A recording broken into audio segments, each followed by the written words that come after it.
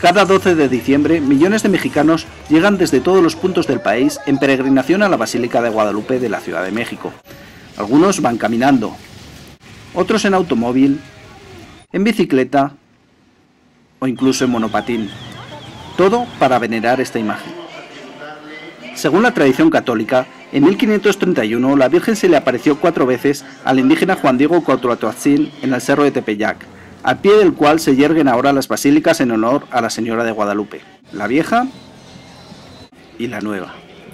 La Virgen de Guadalupe hizo surgir su imagen en una tela, que ahora es adorada por millones de católicos en México y en todo el mundo. En conmemoración de la fecha en que se apareció por última vez, la basílica acoge a los peregrinos que llegan en masa a pedirle favores a la Virgen y agradecerle las gracias concedidas.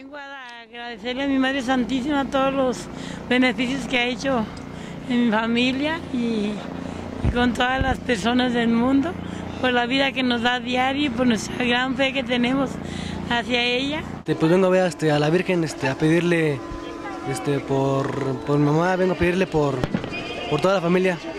Más que nada, este, paz en el hogar, salud, comida, todo ese tipo para la familia.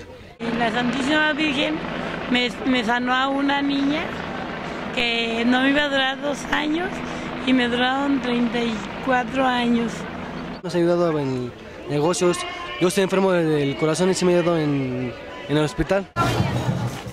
Frente a las vírgenes europeas de piel blanca que predominaban en la época colonial, la de Guadalupe, también conocida como la Morenita del Tepeyac, es considerada por sus rasgos como un símbolo del mestizaje.